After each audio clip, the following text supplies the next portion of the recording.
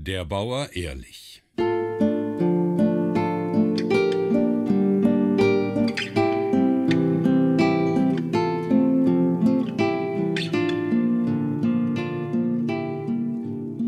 Es war einmal ein König, der hatte ein Lamm, eine Geiß und einen Bock. Weil er die Tiere sehr liebte, wollte er sie nur einem Bauern zum Hüten geben, dem er voll und ganz vertrauen konnte. Der ehrlichste Bauer im ganzen Land hieß auch ehrlich, und ihm gab der König seine Tiere in Pflege. An jedem Wochenende musste der Bauer in die Stadt kommen und dem König berichten, wie es den Tieren ging. Das spielte sich immer so ab. Guten Morgen, Bauer Ehrlich, war der Weg heut sehr beschwerlich. Guten Morgen, Majestät. Sag, wie's meinen Tieren geht.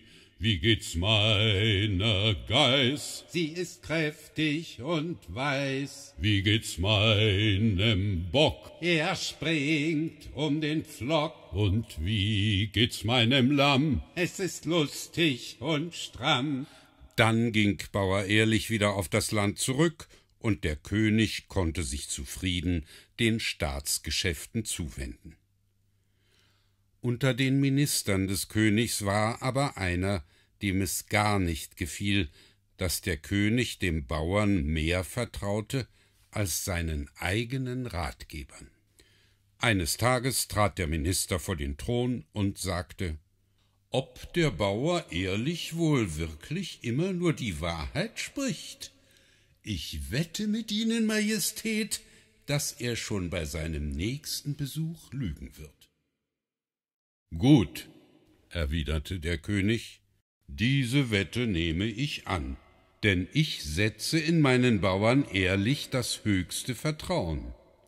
Wenn er mich belügt, will ich auf die Krone verzichten und du sollst König werden.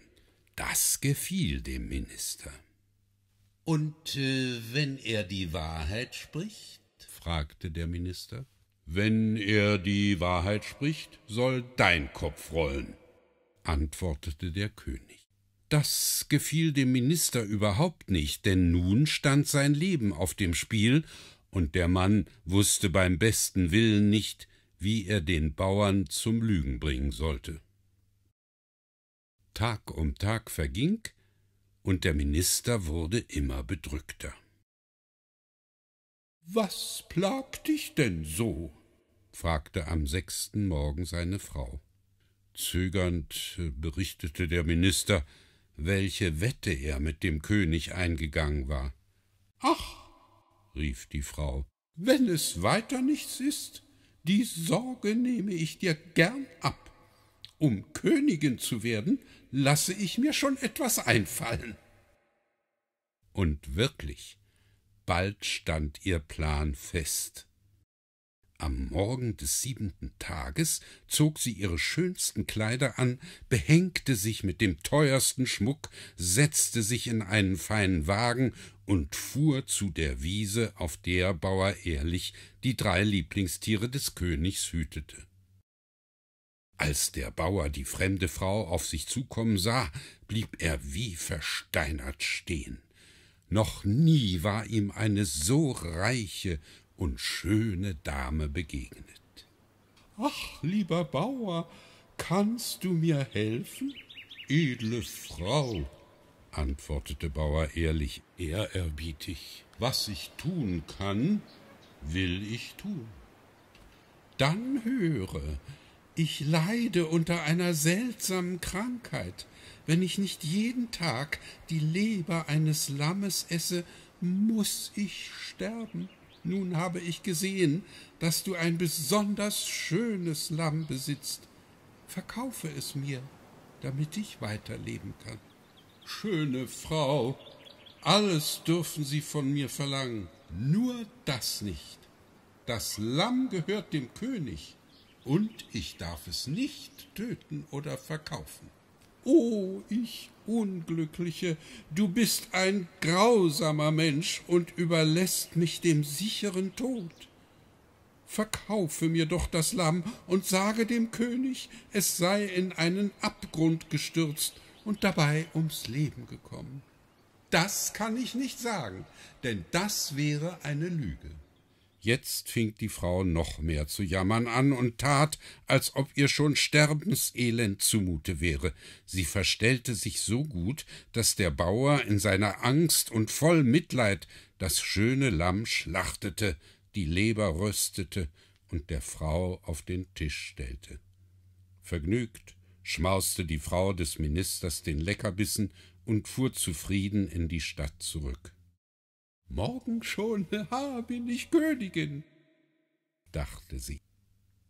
Der Bauer ehrlich aber war verzweifelt. Was sollte er bloß tun? Lügen und seine Arbeit behalten?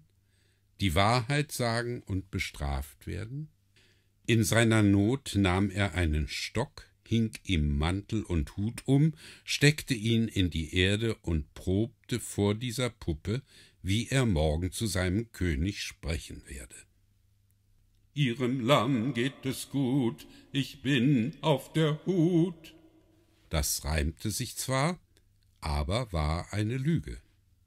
Was soll ich machen? Ihr Lamm ist tot. Das reimte sich nicht, entsprach aber der Wahrheit. Die ganze Nacht hindurch zerbrach er sich den Kopf und konnte vor Sorge nicht schlafen. Endlich am Morgen wusste er, was er seinem König sagen würde. Ja, dachte er, so soll es sein, so und nicht anders. Als er bald darauf den großen Thronsaal betrat, staunte er nicht wenig, denn diesmal war der ganze Hofstaat anwesend. Alle Minister und Ratgeber lauschten dem Gespräch zwischen dem König und dem Bauern, und alle warteten gespannt auf den Ausgang der Wette. Guten Morgen, Bauer Ehrlich, war der Weg heut sehr beschwerlich, begann der König wie stets. Und auch der Bauer antwortete wie jede Woche. Guten Morgen, Majestät. Und das Gespräch ging weiter. Sag's, wie meinen Tieren geht, wie geht's meiner Geiß? Sie ist kräftig und weiß. Wie geht's meinem Bock? Er springt um den Flock. Das waren die üblichen Antworten. Nun aber fragte der König Und wie geht's meinem Lamm? Bei dieser letzten Frage blickte der König dem Bauern streng in die Augen. Ehrlich zögerte einen Augenblick, drehte seinen schäbigen Hut in den Händen, schluckte und antwortete schließlich Ich mag nicht lügen und sie betrügen. Verzeiht, hoher Herr, ihr Lamm lebt nicht mehr. Und nun erzählte er dem König, wie die schöne Frau ihn gebeten hatte, das Lamm zu schlachten, weil sie sonst sterben müsse. Er fiel dem König zu Füßen und bat um Verzeihung. Steh auf. Ich bin traurig, dass ich mein Lieblingslamm verloren habe. Ich bin aber glücklich über dein edles Herz und deine Wahrheitsliebe. Darum will ich dir nicht nur verzeihen, sondern dir auch ein Goldstück schenken. Der Minister aber musste die verlorene Wette mit dem Tod bezahlen.